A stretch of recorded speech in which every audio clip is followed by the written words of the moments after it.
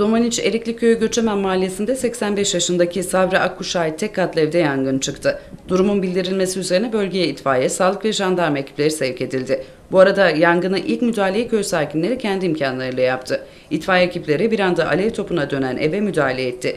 Yangın ekiplerin yoğun çalışması sonucu söndürülürken ev tamamen yanarak kül oldu.